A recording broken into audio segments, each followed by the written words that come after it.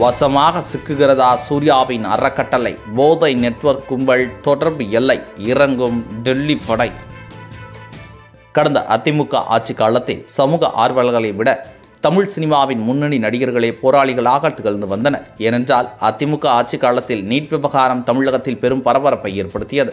நீட்டால் ஏற்பட்ட உயிரிழப்புகளுக்கு நீட்டை முற்றிலுமாக தமிழகத்திற்கு விளக்கமளிக்க வேண்டும் என்று அது ஒன்றே முடிவு என்ற வகையிலான கோஷங்கள் ஆங்காங்கே முன்வைக்கப்பட்டது. அதற்கு ஆதரவு தெரிவிக்கும் வகையில் தமிழ் திரையுலகினர் பலர் கருத்துக்களை பதிவிட்டு வந்தனர். அதில் நடிகர் சூர்யாவும் அவரது குடும்பமும் நீட் எதிர்ப்பு குறித்த கருத்தில் வலுவாக நின்றதோடு மத்திய அரசிற்கு எதிரான கருத்துக்களை முன்வைத்திருந்தன. இதனை அடுத்து சமூக பிரச்சனைகள் சார்ந்த படங்களில் நடித்த நடிகர் சூர்யாவிற்கு நல்ல வரவேற்பும் கிடைத்தது.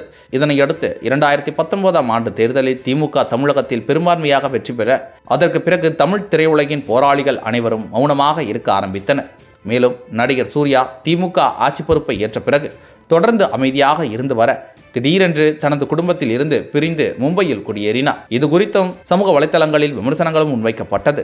மேலும் எதற்காக திடீரென்று மும்பையில் குடியேறினீர்கள் என்ற கேள்விக்கு நடிகர் சூர்யா தங்களது பிள்ளைகளின் படிப்பிற்காக அங்கு குடியேறி இருப்பதாக தெரிவித்திருந்தார். இந்த நிலையில் சூர்யா மும்பைக்கு குடியேறியதற்கு இதுதான் காரணம் என்ற வகையில் அரசியல் விமர்சகர் தனியார் யூடியூப் சேனல் ஒன்றில் பரபரப்பாக பேசியுள்ளார். அதாவது குழந்தைகளின் படிப்பிற்காக அங்கு சென்றதாக சூர்யா கூறியுள்ளார். ஆனால் சென்னையில் இல்லாத கல்வி தரமா அங்கு இருக்கப் போகிறது? இவர்தானே கூறினார் தமிழகம் கல்வியில் சிறந்து விளங்குகிறது என்று. ஆனால் தற்போது சூர்யா தன் குழந்தைகளை சேர்த்திருக்கும் இடத்தில் தமிழே இல்லையே. ஹிந்தி மட்டும்தான். ஹிந்தி தெரியாது போடா என்று கூறியவர்களின் பலரில் சூர்யாவும் ஜோதியாவும் முக்கியமானவர்கள். அப்படி இருக்கும் பொழுது இவர்கள் எதற்கு அங்கு சென்றார்கள்? படிப்பதற்கு என்றால் இங்குள்ள தரமான கல்வியில் சேர்க்கலாமே.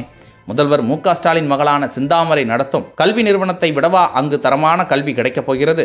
அல்லது இங்கு இருக்கக்கூடிய சர்ச் பார்க் கான்வென்ட்டை விட அங்கு தரமாக கல்வி உள்ளதா? அங்கு எதற்கு குடியேறினார்கள்? சர்வதேச நிழலுலக தாதாக்களுடன் அவருக்கு தொடர்பு இருக்கிறது என்பது என்னுடைய கருத்து. வெளிநாட்டில் இருந்து நிதியெல்லாம் வருவதையும் சட்டத்திற்கு புறம்பாக வரும் பணம் அனைத்தையும் தடுத்து நிறுத்தியது பிரதமர் மோடி அரசு.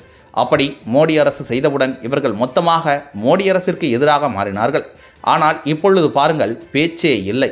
நீட் வந்த பிறகு ஒரு மருத்துவரை கூட உருவாக்க முடியவில்லை என்று கூறினார்கள்.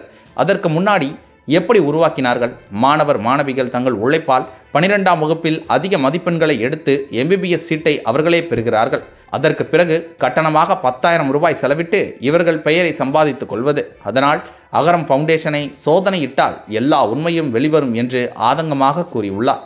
இப்படி நடிகர் சூர்யா குறித்த பல திடுக்கிடும் தகவல்கள் அடங்கிய இந்த வீடியோ இணையத்தில் வைரலாகி வருவதால் மக்கள் மத்தியில் அகரம் ஃபவுண்டேஷன் குறித்த கேள்வியும் ஆமாம் உண்மையிலேயே சூர்யா ஏன் தற்போது அமைதியாக இருக்கிறார் என்ற கேள்வியும் எழுந்துள்ளது.